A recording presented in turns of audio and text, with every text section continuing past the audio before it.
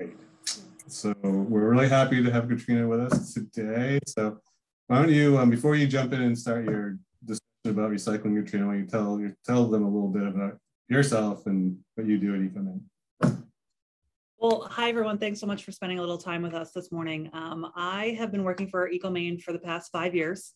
Um, it is my dream job. I uh, graduated from college in 2017, or sorry, 2007, and got this job in 2016. So it actually took about 10 years to, to find this particular job.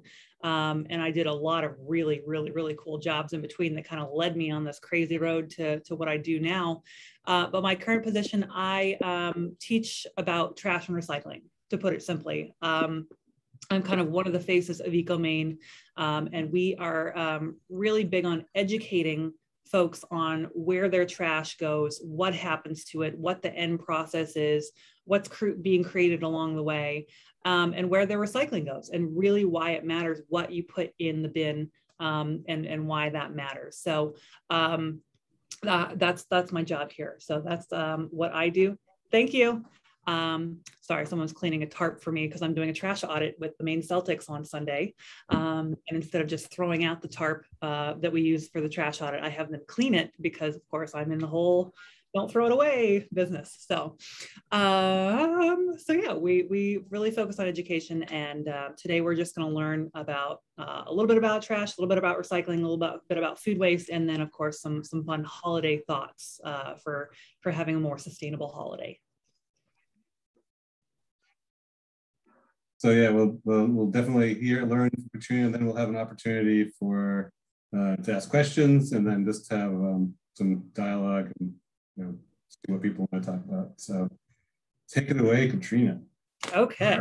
So I pretty much nerded out when I knew that I was going to do this, and I completely forgot to look at the. I have five to ten minutes um, to speak, and then we have Q and A after that. So I actually created like a 42 slide program, which I'm going to turn into a PDF and then um, send to to anybody who wants it or everybody, um, and then you can look at it as your at your leisure. Um, that PDF will not include videos, just because PDFs don't play videos, um, but you can find any videos that we have online on YouTube. You can search EcoMaine Virtual, or down at the um, at the end of the program, we're going to talk about holidays. You can search EcoMaine Holiday on YouTube, and any and all of our videos are up there. And of course, we're always happy to help you find them um, if you email us at info at ecomaine.org or give us a phone call. So I'm just going to share my screen with you um, because I have kind of whittled down my presentation to some really interesting slides. And Troy, are you working on letting me share? Audio. All right, here we go. So I've got my slides. So I'm just going to share some information with you, and of course we'll have plenty of time for Q&A after this. Um, but I just want to share a little bit about uh, who we are, where we are. So if you don't know about EcoMaine, we are a nonprofit sustainable waste management company. We're located right by the Portland Airport in Portland, Maine. So here's 95 here's a Unum, and then the airport's just right over here. So if you've ever seen the stack as you've been driving down 95, that's where your trash goes. We take South Portland, Portland, and then everywhere from um, Waterville to Rockland to Kittery and two um, uh, communities down in the New Hampshire area to Fryeburg. So we actually take 68 communities or about 400 or 450,000 folks give us their trash and or recycling. So we're dealing with all that stuff in our recycling building. Single sort recycling here started in 2007 but we were recycling before that. Uh, fun story, this building used to be the trash building. So this is where trash used to come and we used to squish it or bale it and then put it in part of the landfill down here. Um, but now we take your trash and we combust it for electricity, meaning we burn it up, we make it from 100% trash to 10% ash, and all along the way creating electricity to power our trash building, power our recycling building, power our two electric cars that we take to programs, and then also power up to 15,000 homes on top of that. So we're making an incredible amount of power as well as making the trash much smaller. If you look down here, we're not a typical landfill with all your trash being smelly and gross. We have ash in our landfill and it's very well managed and very well contained, um, of course, within our, our cells. Um, one more thing we're making up here is pollution anytime you burn anything from a pile of leaves to a pile of trash, you're going to create pollution. Um, so we, of course, mitigate that safely inside this building and follow the EPA and the DEP standards, but then go above and beyond that. So say we're allowed to emit a bit, we're, actually emitting down here. And I'm happy to share those numbers with you. I just didn't have time to put it in the whole presentation. Um, but anyway, we've got our single sort recycling, we've got our waste to energy facility.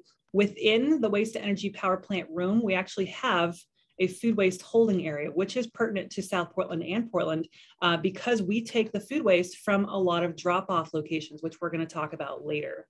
And of course, there's also the landfill ashfill. Um, so one of the goals of Climate Future is to lower greenhouse gases by at least 80% by 2050. And of course, the gray line here is waste. So if we want to think about waste, it does take up a chunk of uh, CO2 or greenhouse gas emissions. So we just need to think about our um, role in the waste systems and what are we doing with our stuff. Of course, it's also helpful to think about the transportation we're using, the energy we're using, um, the type of agriculture we choose to um, support, whether we're buying organic or not. But just wanted to point out waste is um, a kind of a factor as far as um, greenhouse gas emissions. So what can we all do? Let's get familiar with our trash yes, we're going to make trash. We're going to have pet food bags and pet poo, diapers and uh, syringes, um, if we're diabetic, etc. Um, uh, chip bags, straws, and just, you know, we're going to make trash and that's okay. But let's look at that trash and say, is there something that's organic? Can we take it out and put it in a free drop off location for our food, which we'll talk about in a few minutes? Can we compost it in our own backyard? Do we have a curbside service like Garbage to Garden and we compost it? Are there recyclables in there? Let's take those out and put them in the recycling bin. And are there useful things that others can use? Um, so take those out and give them away. Um, I'm part of a buy nothing group, uh, which is incredible. So I share things and people pick them up for free and people share things. And, you know, sometimes I pick them up for free. So it's a really wonderful thing. So check out a buy nothing group if you have Facebook um, or there's just ones on the internet as well. So what can you do? Get familiar with your trash, put your organics in the organics bin, recyclables in the recycling bin and give useful things away and throw away your actual trash, but try and keep everything else out. So what are we able to recycle? Let's focus on that for a minute. We all have bins. This is a South Portland bin and a trash bin. In this bin, we want your cardboard of any kind. It could be a shoe box, a cereal box, granola bar box, a box from Amazon. You got a new refrigerator, it's in a box. Put it in the recycling bin. If it's something huge like a refrigerator box, cut that into like half or even fourths, just because our, our facilities, you know, they can't handle absolutely enormous things, especially cardboard. Um, so just be mindful of that. We'll take any paper from your old magazines, junk mail, or even you know old craft projects with colored paper. Uh, we'll take the tubing inside your paper towels and your toilet paper. We will not accept your paper towels or your toilet paper in the recycling bin. I just need to make that clear. So no paper towels, those can be composted, but no um, tissues, paper towels, or toilet paper in your recycling bin. And also anything from an old lunch bag to um, maybe we get to go uh, from, I don't know, El Rayo or, or Taco Escobar or, or, wherever you get takeout from, a lot comes in um, paper bags. So recycle, reuse, of course, and then recycle all that paper. Your metals that we want to recycle are all these types of good things, all this glass, all this plastic. I'm going through quickly because I just want to make uh, sure we have a lot of time for Q&A. Um, Casey and Troy, tell me if you have these at your town hall, and if you don't, I'll get you a big old stack, but folks can pick up a do-don't list as far as what we take and what we don't take in your recycling bin to help you out at home.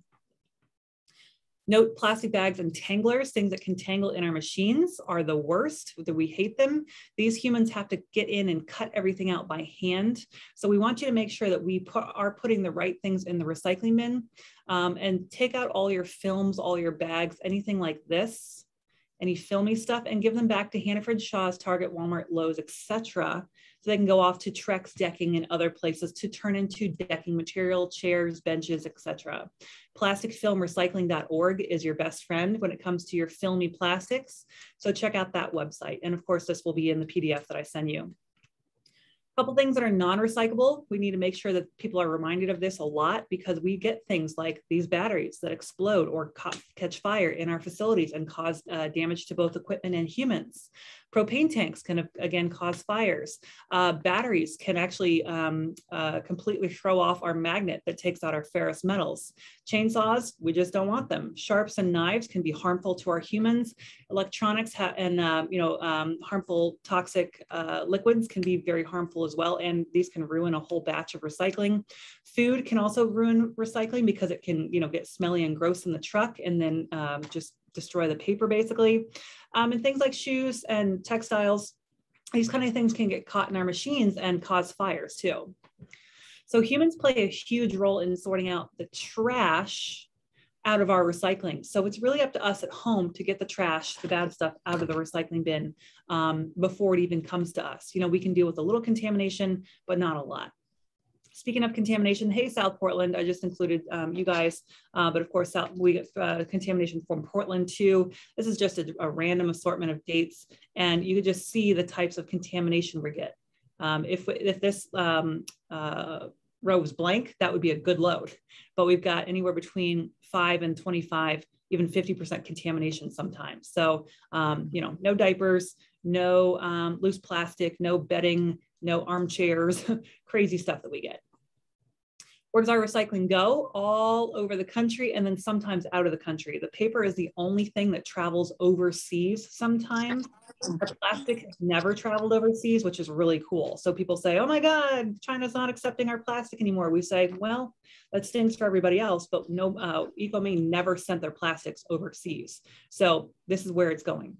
Everything is staying in the country or just over the border, unless it's paper, and sometimes it goes to India. But we've actually been able to send it um, to the uh, Niagara Falls area sometimes and West Virginia sometimes. So that's really great. And we can turn things into great things if we put them in the recycling bin. South Portlanders and everybody else, you might recognize this at Willard Beach.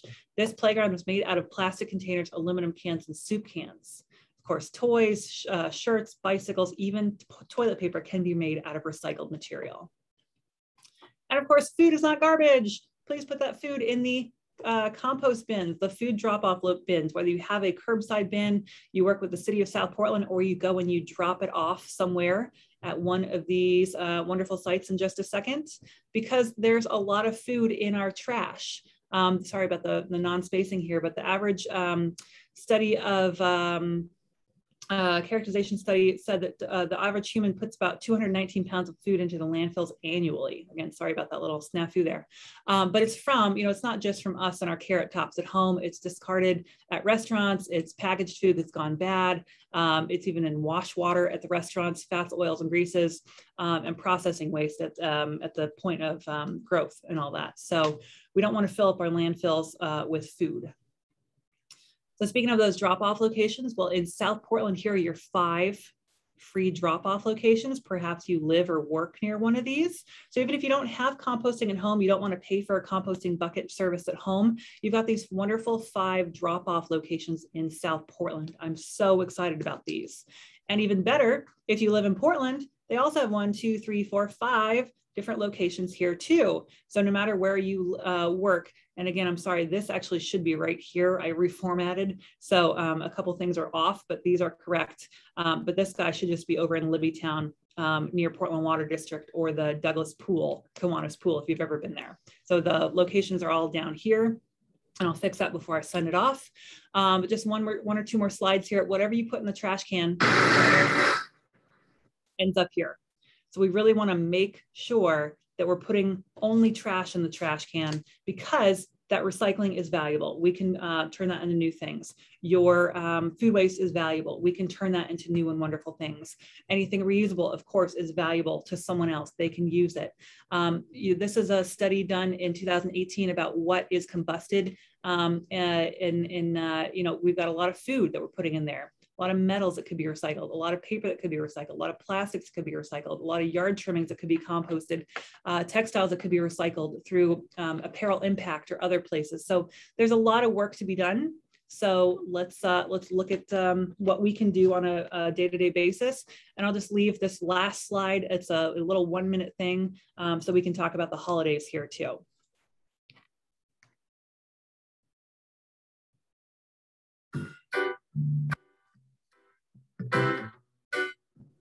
Howdy, EcoMaine here with fun and conservation-themed holiday challenge for you. Challenge one, bring your own coffee mug to reduce disposable cup use and often a reduction in price. Tip two, don't go to the grocery store without your own bags, backpacks, or even purse.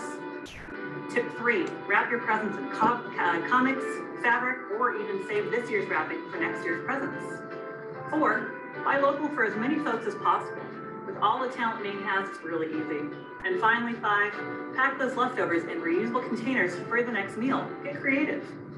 Try one or all five of these challenges for the holidays or any time of year. And thanks for watching.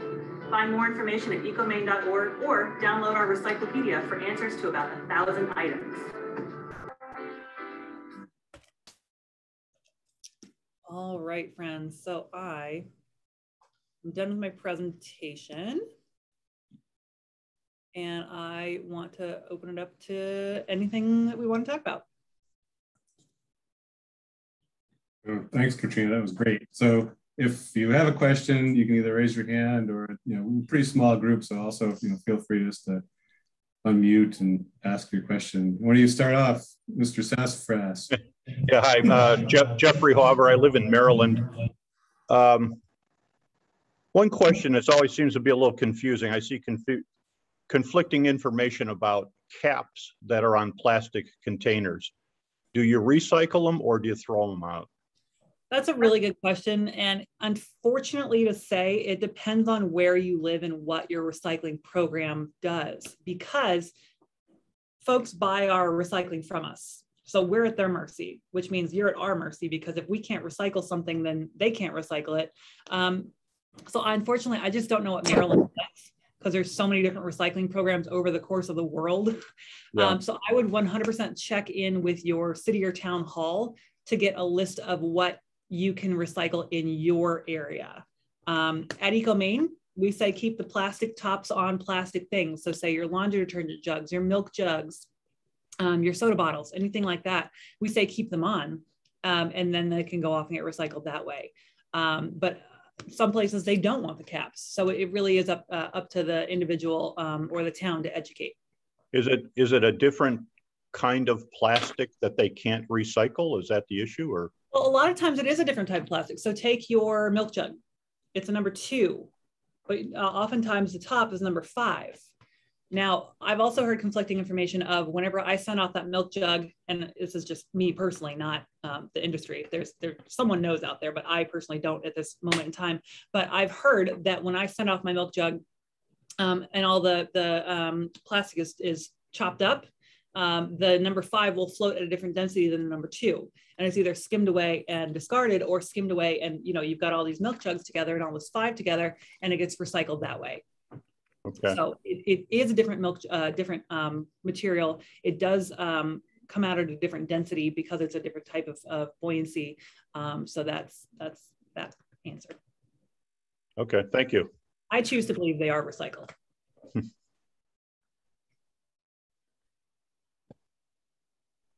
Troy, should I ask you to call or should I just Oh, you can. Go ahead. Go right ahead. Okay. We have lots of great questions. See, uh, Jennifer Morris with your hand up. Hi, Katrina. That was Hi. a great Great presentation. Thank you. Thank you. Sorry I went through so fast. I just wanted to make sure we had a lot of time. Well, at least you gave us the places to go. So it was interesting and informative. Thanks. Couple couple points. One, um, what do you do with a broken like glass? What Great question. So we we actually recently someone got cut with broken glass um, in our facility. Uh, he wasn't wearing the correct kind of gloves, but that still you know kind of highlights the safety issue. Um, we don't want broken glass in our facility. You know, of course, glass is going to break in our facility, but we don't want everyone to send in their broken glass. So I would suggest putting that in it, like sweeping it up, putting it in a bag, and then putting that in your trash. Just and I, that's a huge bummer because glass is not going to um, burn down into ash or anything but you know we got to think about our, our facilities and our you know more um, more to the point our people and keep them safe. So that goes in the trash. I just contain it as safely as you're able to um, and of course keeping the, the, folks who pick up your your trash safe too. Okay. And, yeah. and my next issue is i belong to centerboard yacht club. We have about 300 members um, we can't get trash picked up because we are are we're actually not a business, but we're not a residence. Yeah. So the city of South Portland will not let us do that. So our efforts to try to make recycling there is fraught with all kinds of complications. We have a big dumpster that all goes into the landfill. Yeah. But the biggest problem that I'm working on is shrink wrap on boats. Maine is inundated with it. My boat is sitting in my yard at the moment, covered with shrink wrap. And I've been talking to Ocean Access Max in Rhode Island about this. And the term um, cyclic, cyclic, I can't say it. It's circular recycling so that this particular plastic might hopefully be able to be reused by turning it back into the same material for boats. Yeah. And his recommendation right now, because we really can't recycle it, um, it has to be clean, it has to be taken off specifically. There's something about the type of plastic that makes it difficult to do that. There'll be a lot of education with the public that needs to happen. And, and it sounds like it is the ball is starting to roll, but I kind of have the bit in my teeth on this to keep pursuing what are we going to do with the mountains of shrink wrap that we use on boats. Um, I would like to see you stay on top of this as well. And if you can keep us informed or keep me informed on what's happening, I would really, really appreciate it. We're going to try to encourage people to reuse their shrink wrap on the boats, which apparently you could do like for up to seven years. The tricky part is we really need uh, the people that apply them to give them more room so you can get it back on. Sure. And I don't know uh, uh how well the education and the cooperation will be um, to have it done because obviously it's going to cut down their business if we're reusing it. But sure. there's work to be done here, and I'm trying to get educated, which is why I'm here. Sure, so great. You. All I have to say on that. Thank you. So just to, to respond to, to all of that, um, I would check in with, there's a company called Green Machine. They are a recycling company. They only focus on recycling, I believe. So um, they would come to you. You would, I think, rent uh, toters, giant containers from them, um, and they would help you recycle efficiently at your facility. Um, you could also reach out to your same hauler and get a recycling dumpster from them. Um, but you know how they dump that and where they dump that, whether it's our recycling building or our waste energy building, I that's up to them. Unfortunately, I can't make that call. Um, so say your stuff was like really contaminated and then they had three other stops that were really contaminated and they have like four stops that were really clean well that truck is mostly full of contamination so they would probably dump it at waste energy but um, i can say 100% green machine um, will is focused on recycling. So that might be an avenue for you to check out, but also call your hauler and, and get an idea there too. Um, as for the, the wrap, I would 100% say get folks to reuse it. And that should come from from uh, the the people having the boats. They need to talk to the people wrapping the boats and say this is what i want because you're the customer. Like right. voice we you know we I, I always say to the students we vote with our dollar. We make decisions based on where we choose to spend our money. So make sure that we're doing, uh, you know, we're speaking our mind. We need to, to tell the businesses that we are choosing to buy from what we need from them, because if they don't hear, they don't, you know, they don't know to change anything or they don't care. Um, there is an organization called NuDay Syria, N-U-D-A-Y, Syria, like the country.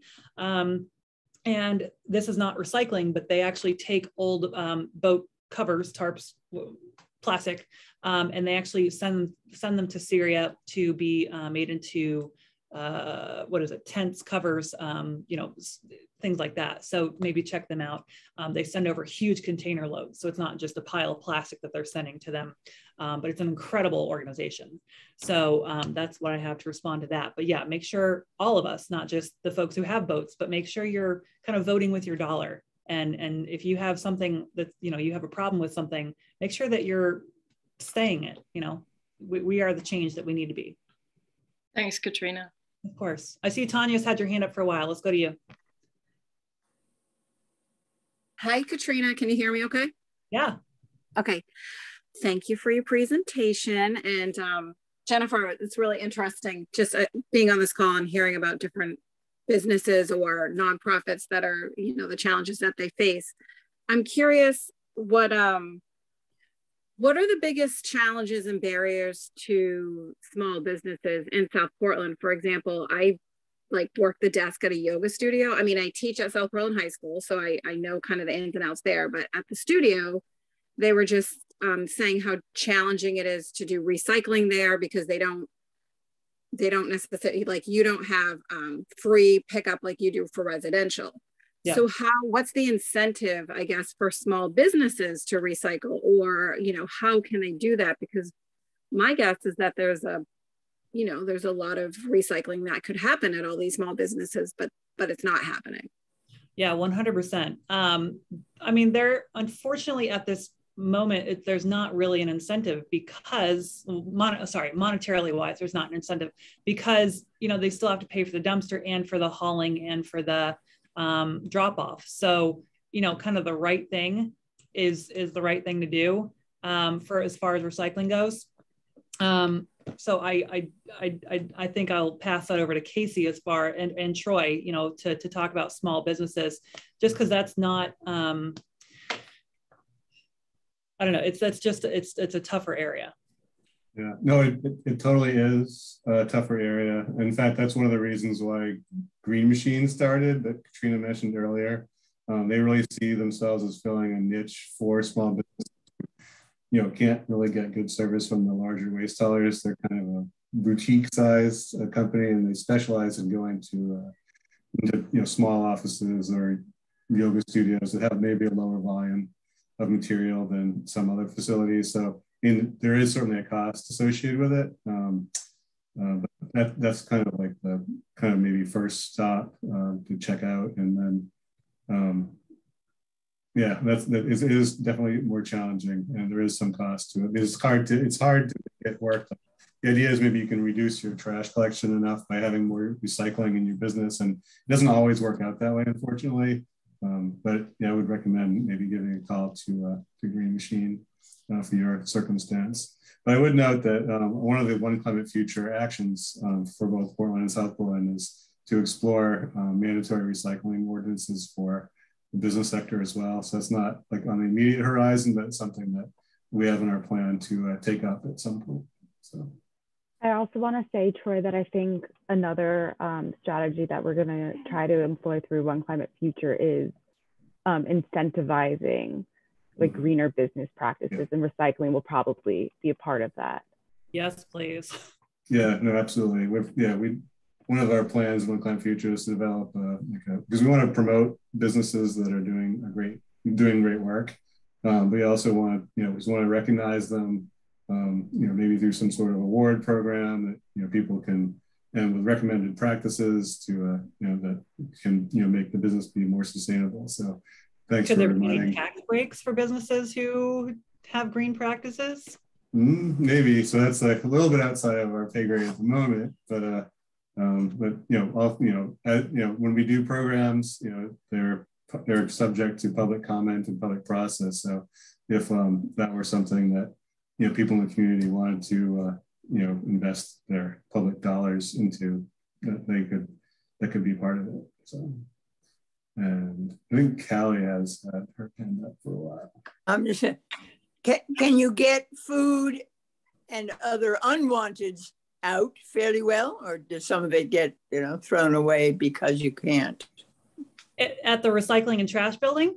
Yeah. One, once it comes to our recycling building, all that food is thrown away or anything that's non-recyclable. So say I was on a tour once and there was a pair of LL Bean boots in the trash because someone had pulled them off the line and put them in the trash. We don't have a donation bin, a food, you know, compost bin. Uh, we just have recycling in the recycling bin and everything else is trash. And then in the trash building, there is no sorting going on whatsoever unless we see, say, a car battery that's dangerous or, you know, something else that we need to pull out that's really dangerous. So nothing is getting sorted and put in a better and higher place once it comes to either of our buildings. That's why it's so important for us at home to make sure we're putting it in the right place. So nothing is, no, no food is recovered here at EcoMaine once it's mm-hmm. in the recycling bin or the trash bin. You know, if it's in the food waste bin, yes, that stuff goes up to AgriCycle or, um, or agri, yeah, Agri Energy up in um, AgriCycle Energy up in Exeter, Maine. I thought you said sometimes the food gets, you know, put into the recycling and maybe messes it up or something. Yes, yes. So you heard me correctly. So say you didn't know that food was compostable, you were thinking that it was recyclable. If you put that food into the recycling bin, then yeah. that could, um, you know, kind of get all over the, the cardboard and the paper and everything. And it could, depending on how, you know, how much was in there and how long it had been in there, that could ru- ruin the recycling. So then that would have to be pushed to trash. But we can't take that food out and okay. then like save it and compost or anything like yeah, that. That's, that's, that's too bad, obviously. It, it's really, really a shame. Which is why, you know, when I see things like LL Bean Boots in the recycling bin or cardboard in the trash, I think, why? You know, let's let's make sure we're putting that stuff in the right place in the first place. Yeah, and with oh, the the Hanks. Uh, hi, um, my name is Lee. I'm from Portland. Um, we a question came up amongst uh, several of us um, last earlier this week about whether the um, the people that are picking up our trash are, um, um, they, it seems like they pick up the recycling and the trash at the same time. How can we be assured that that um, recycling is actually getting recycled? Troy, can you take that and then I'll answer after? Sure, I can. So, um, so it absolutely should be um, getting recycled. That's our expectation. Um, we do have um, a, we have a truck that has a split body that can take you know both trash and recycling in the in the same truck and it's separated. Um, I don't know, um, you know, I, I, didn't see your specific um, circumstance, but that's certain. We do have that vehicle uh, on the road. It's a, it's it's Casella is the people they're picking up our trash. Okay. All right. Um, so they have is a split body. Yeah, that's exactly right. So each so they take how it works is the um, you know the first they'll grab the cart and and and tip that into the back. And if you see in the back yeah it has got two different pieces. So then they take the bags and put it on the other side of the truck. And then when it goes to um, EcoMaine it will drive you know first down to the waste energy plant. And only the trash side of the truck truck will dump out. And then um, and then it will go up to the recycling plant and dump out the other part of the truck. And maybe Katrina, because other towns do do that as well. So maybe Katrina can fill in some of the details there about how. So we can feel very confident that this is being done properly. Absolutely. Yep. Okay, great. Thank you. That's really helpful. Yeah. Yes. No, we, we get that question pretty often. Good looking out though, because you know I've heard people um, say that, and I ask them, you know, have you looked back or have you know have have you seen a, a split body truck? And um, you know, if they if they notice it's not a split body truck and things are going in, trash and recycling are going in, definitely call the city because again, like Troy said, that shouldn't be happening. Um, yeah. I've heard that that could happen if it's say like a terrible blizzard and it's really unsafe for the trucks to be out and they just want to get it done. You know, that might be a situation where it could happen, but otherwise it really should not be happening. So, so good looking out on that. Uh, but no, Troy was definitely right. Uh, you know, I was doing with my hands like this, uh, the mm-hmm. split side truck one side will open and that's trash. There's literally a line down the truck. So the trash can't get in the recycling, the recycling can't get in the trash. So the trash will get dumped out, they'll go up to recycling, the recycling will get dumped out. So just like that. Um, and a fun and, fact is that all of our trucks are weighed when they come in. So say the truck is full, um, they weigh it, they go and dump off the trash, they come back, they weigh it so they know how much trash they dropped off, they go dump off the recycling, they come back and they weigh it so they know how much recycling they dropped off. So we're keeping really, well, really good track of every single truck that comes through our gates um, and how much weight was in there, where it came from. And again, like I showed that, that giant, I went through it quickly, but the giant kind of spreadsheet of all the contamination, we're, we're writing down the kind of junk that's coming in. So we can do more targeted education of say, oh, well, this neighborhood is giving us a lot of diapers or, you know, a lot of bedding, you know, some, something, just pick your, pick your contaminant. Um, so that's really fun.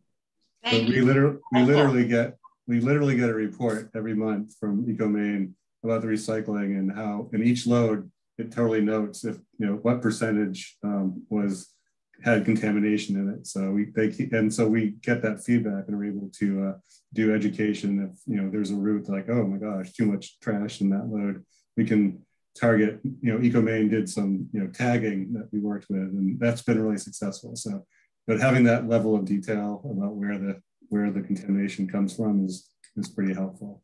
I did want to mention, um, you mentioned you saw you saw a Casella truck in Portland, and um, so you'd see that we actually have some city trucks doing trash and recycling pickup, and we have some Casella trucks, just because um, it, has been really hard to get a lot of, you know, staff shortages are a problem for lots of industries right now, and including uh, municipal governments. So we have a, we're collaborating with Casella.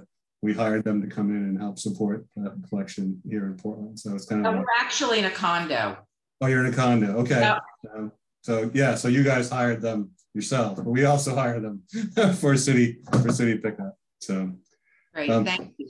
One thing I want to mention, we talked about, um, you know, the waste hierarchy or the reducing and reusing, recycling. And so uh, one option that we can really take advantage of is if you have good, you know, we mentioned the bean boots that maybe went into the into the wrong uh, waste stream. They could have been donated uh, to um, a, to a nonprofit, or we also have uh, retailers and stores that specialize in getting high quality used um, gear or goods, um, and they can help create more circular economy by taking high quality items and you know circulating them back to people who can use them. So and see that Jenna from Woods and Water Gear was a store like that. I wanted to maybe Jenna you can introduce yourself and uh, and what you do to help reduce waste uh, by repurposing really good quality outdoor gear. Thanks, Troy. Thanks, Katrina. I have a question for you after too regarding uh, fabrics. But yes, I own and operate Woods and Waters Gear, which is a consignment store. We're in Brunswick, Maine. It's not too far from Portland. We have a lot of South Portland customers come up here. But yeah, we see the value in the secondhand market. We're specifically outdoor focused, so it's a lot of synthetics, um, base layers, snow pants, you know, a lot of skis, snowshoes this time of year um, and a lot of kids stuff too, which is really nice because I think most people have all kids stuff lying around because kids grow out of it so fast. Um, yeah, we're, we're focused on high quality, but we also try and encourage our customers to, you know, if there's a nice wool shirt, we try and encourage them to mend it. Um, so there's a lot of, you know, we're trying to do more programming with that and having people repurpose their current goods because it does last longer. Um, but it's a great Brunswick's great, and I'm sure South Portland and Portland are similar. I'm, i just don't have my business there, but um, a lot of people are open-minded and into the reusing factor. And I think, you know, Katrina or Troy, if you guys could give me some paperwork here, you know, the pamphlets, I would love to pass those out here. Um, oh, yeah. I think when you find the bean boots in the trash, it's just it's the easy way to go for some people, and it's um, I know like Goodwill has had the problem, I guess the opposite problem where they find trash with her off. dropped off.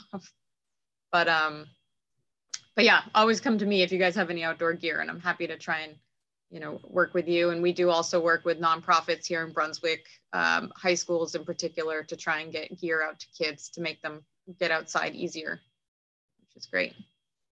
Um, and, oh, I'll go ahead with your question. Uh, sorry and then katrina question for you so we do get sometimes I'll, I'll take in some people's stuff that i just can't resell and it is cotton or wool um, it's just really ripped up and even i can't repair it anymore is there anywhere we can send 100% natural fiber fabrics to be recycled so two suggestions for you. Um, Goodwill seems like a weird choice, but they actually create rags for say boatyards and auto body shops and things with um, material that they just can't sell that would be a good kind of rag material. So it could be upcycled and reused into that. Um, you know, just put it in a bag. Say anybody has shirts that are stained that nobody wants to wear and you don't want to throw them away. Um, you know, put them in a bag and say, you know, for rags, things like that. Um, but also there's a company called Apparel Impact Apparel Impact is a great place to recycle fabrics and textiles. Um, they have those drop-off locations, um, kind of like you used to see with Salvation Army and things like that before they all got really gross and um, you know over trashed. Uh, but check them out. Um, I don't know their exact locations, but um, check them out. They do recycle textiles and they do a great job.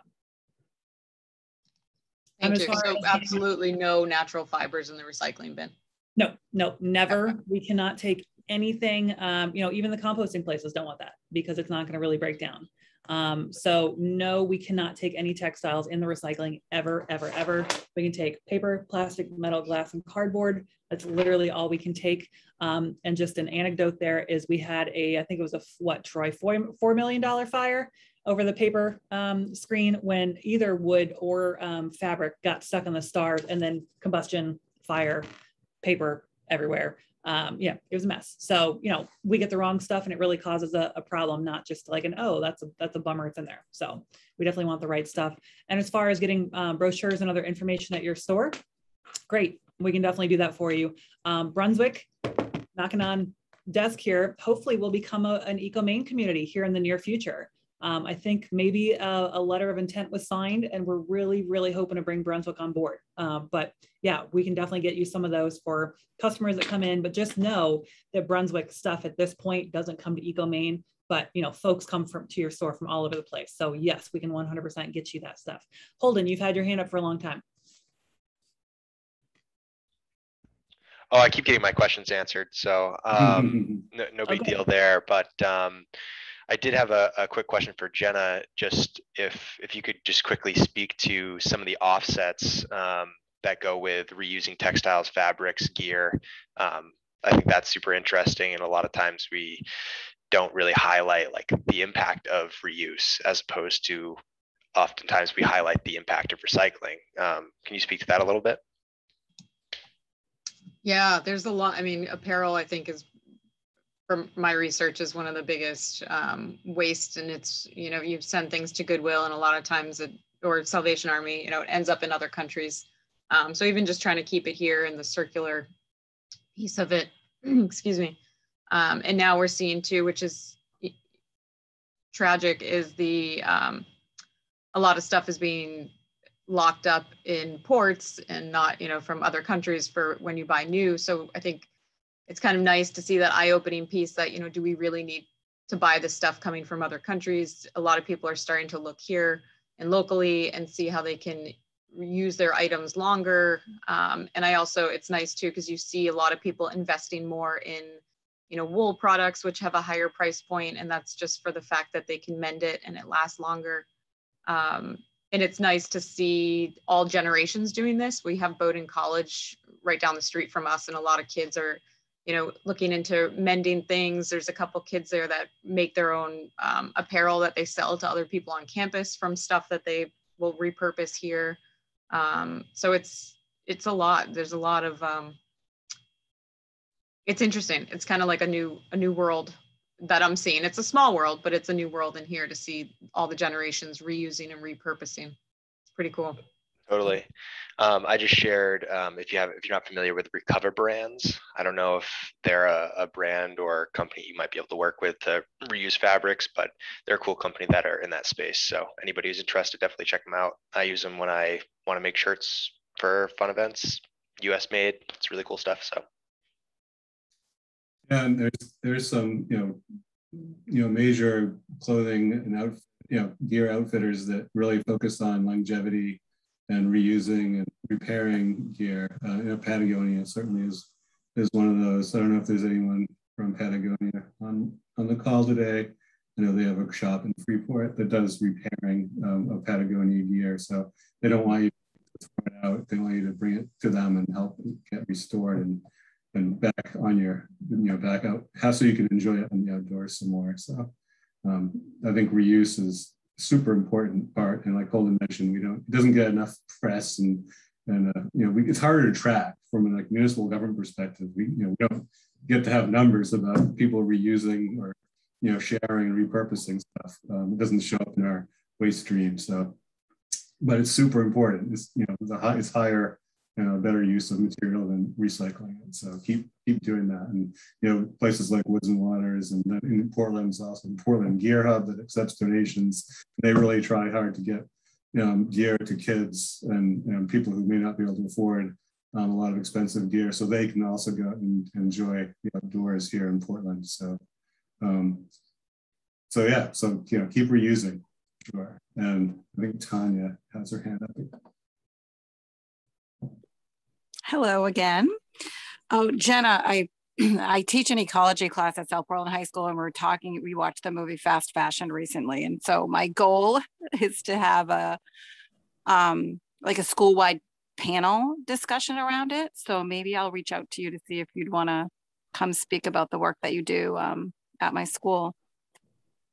Um, so Katrina, this is another question, and I was just thinking about the, the you know, I do recycling composting at South Portland High School, and the one of the biggest challenges is composting milk or recycling the milk containers. Are there any companies that compost milk, like so that the, the containers can be composted versus recycled? Holden, any idea? Yeah, so um, I'm happy to speak to this. I'm, I'm from AgriCycle, so we manage, um, Troy, you can talk to the actual percentage, but I would say the large, vast majority of the food waste that goes to EcoMaine, we pick up. Uh, we turn it into renewable energy and organic fertilizer in Exeter, Maine through a process called anaerobic digestion. Um, I'm also, also a commercial composter by trade, a product of the Maine Compost School. Um, went to UMF, studied composting there. And this is something that I've experienced time and time again while trying to educate students and working in public schools around food waste composting and those strategies.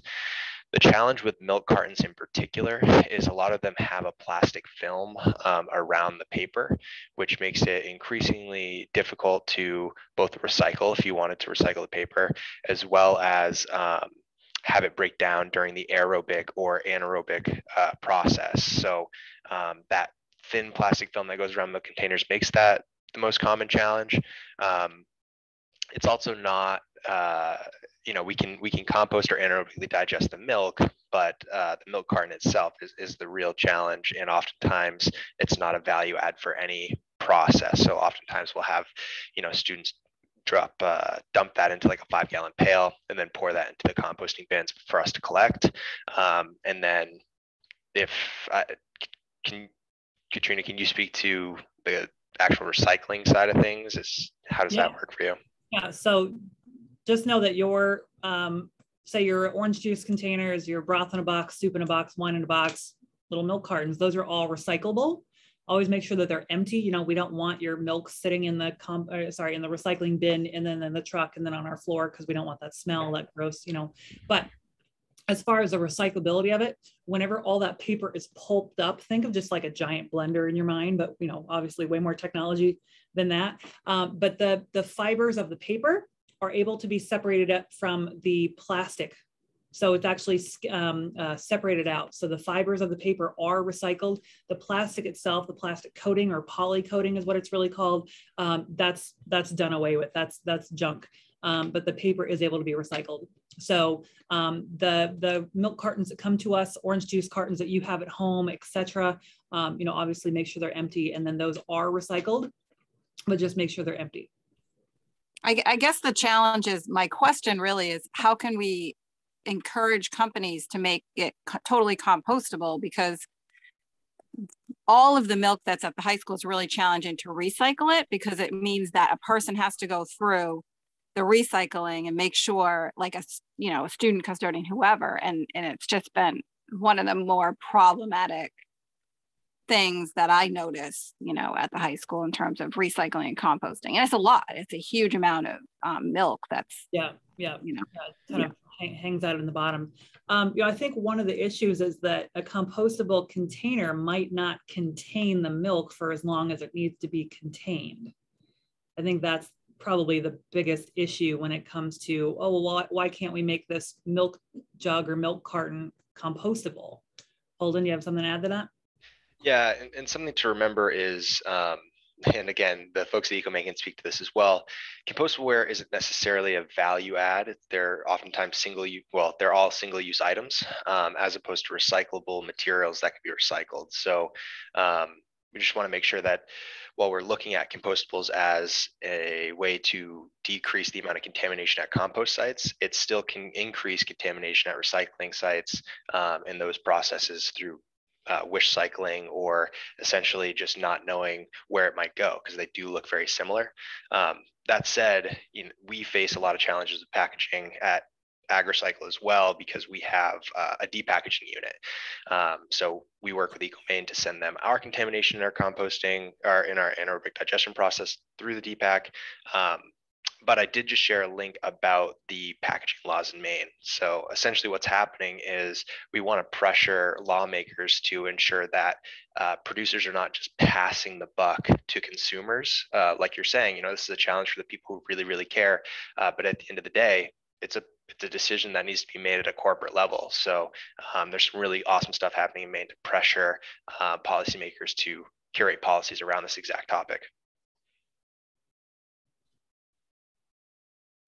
Want to kind of kind of build on what Holden was saying there about the uh, Maine's uh, first in the nation um, you know, producer responsibility law for packaging. So, um, and this is something both the city of Portland and South Portland testified in favor of, and Eco EcoMaine did as well. Um, so we have passed a law and the government and Governor Mills signed it that's going to require um, manufacturers and packagers to help pay for the costs of disposing and recycling their goods. So that will, you know, again, reduce some of the costs for local government, but also provide some incentive for the producers to make their products more recyclable or more reusable because that will, it will, it will cost them less in the long run to do that. So currently they don't really have much incentive to uh, to do that because they're they have no skin in the game, so to speak.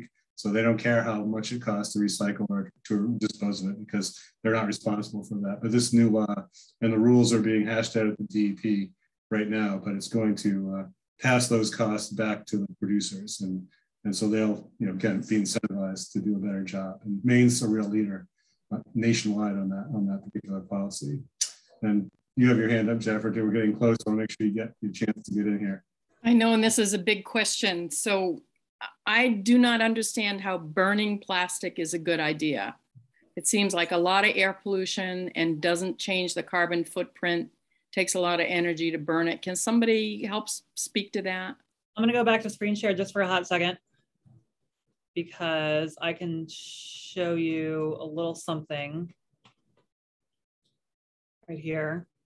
So in the grand scheme of things, no. You know, we wish we didn't have to burn plastic, but it's either that or going to sit in a landfill for the next however many years. Um, and plastic doesn't really break down in a landfill, but the food does, and um, uh, cardboard and other organic materials do. You know, that are in there with the plastic. So, you know, a regular landfill like Hatch Hill or Old Town, etc., they're not a safe place for a material to go uh, because of fires, leachate, uh, pests um, you know, methane production, etc. So waste to energy is just another way to deal with trash.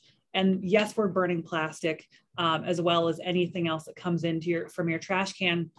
This is kind of general of how it works. And again, I didn't share this because I, I didn't want to take up too much time, but this is in the PowerPoint that I'm going to send everybody.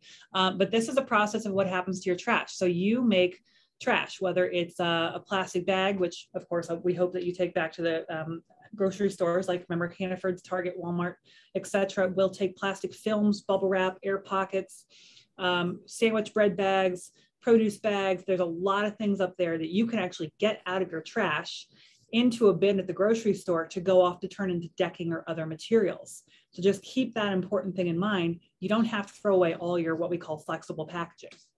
But anything you do throw away, you know, a pen that broke, is plastic. You know, we're just talking about plastics that you can't recycle in any way, shape, or form. You put them in the trash, they come to us, they get burned here. And then this is where the pollution control starts. Right here, we're taking out the nitrogen oxides. Uh, right here, we're taking out the mercury dioxins and furans, which is really uh, a big thing that is created whenever you burn the plastic.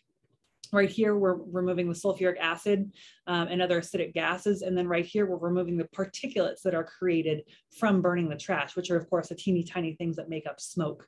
So we're doing an incredible job of dealing with the pollution here before it leaves our stack because I don't, you, you can't really see this and I can't move this, but what this says is water vapor um, comes out here and from the clean flue glass, flue gases. So again, we are allowed if you can see my fingers here, we're allowed to emit a certain amount, but we are always emitting way down here. So we could emit here, we're like, nope, we're good, we're good down here. Um, and I actually have a, I can find it just really quick because I really don't want to take up too much of your time, but I've got so many presentations here and what I just did one for someone and it had the pollution in it.